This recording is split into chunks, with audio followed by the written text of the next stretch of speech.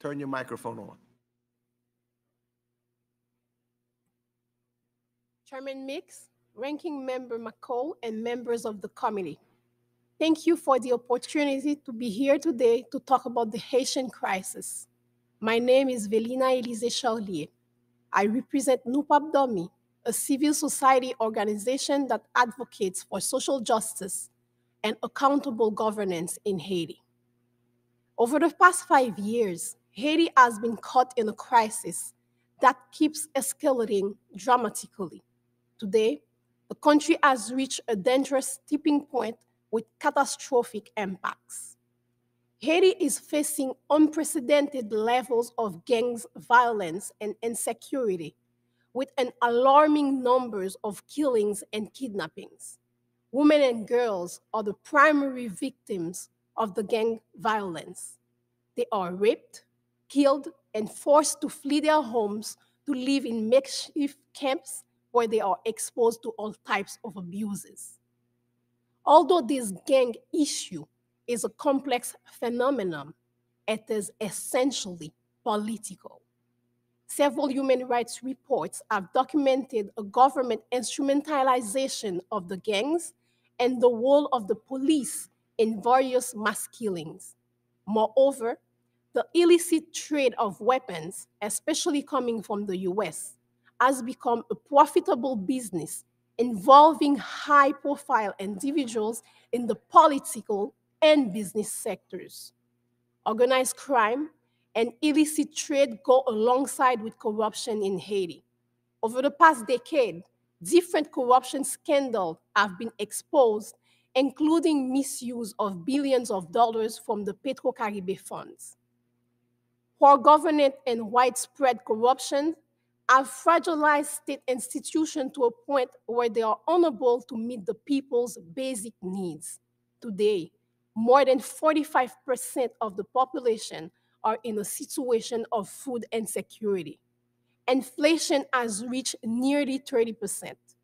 The recent wave of protests in different cities following the increase in fuel prices by more than 128% was driven by a wide range of social grievances as opposed to what the government implies that they are fueled by economic interests. Currently, the state is non-existent in Haiti.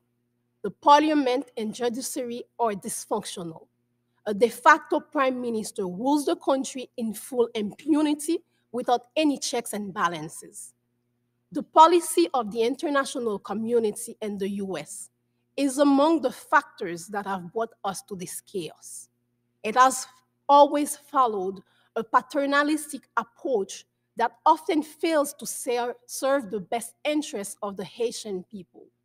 Both the US and the UN have been supporting leaders who have emerged from fraudulent elections or corrupt government with no popular legitimacy.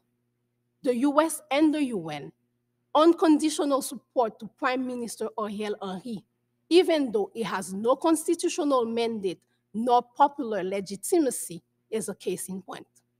This provides Mr. Henry with a form of legitimacy that empowers him to refuse any domestic dialogue process that could help resolve the Haitian crisis. So now, what's the path moving forward? Nou Pap Dòmi believes that elections are necessary to overcome this crisis.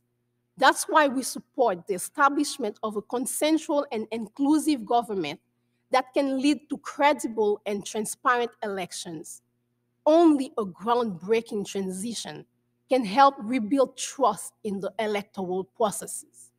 The Montana Accord, which is the most inclusive Haitian coalition, bringing together stakeholders from both the civil society and the political sector, promotes a clear process to transition that will break the cycle of corruption and impunity.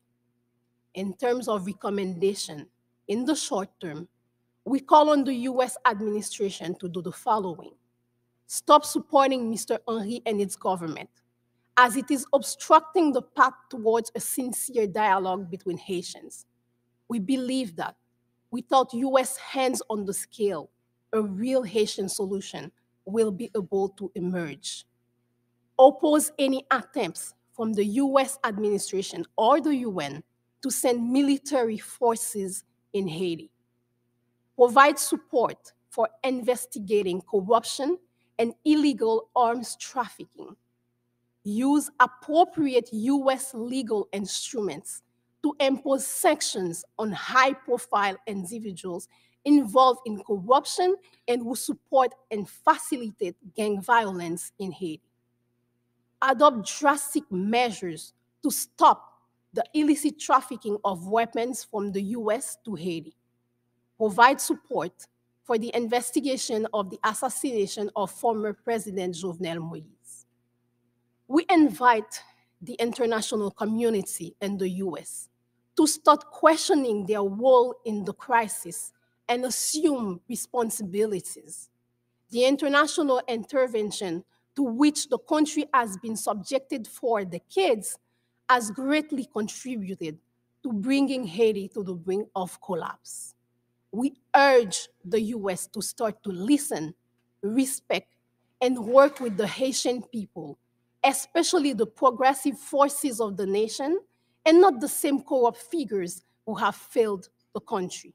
For decades, the international community has been violating Haiti's self-determination and sovereignty.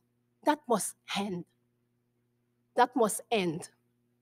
What we need is cooperation in a spirit of solidarity and mutual respect. We thank you for this invitation. We hope that this discussion will not be one more discussion, but rather the initiation of a real process of consultation with Haitians. Let me, thank you,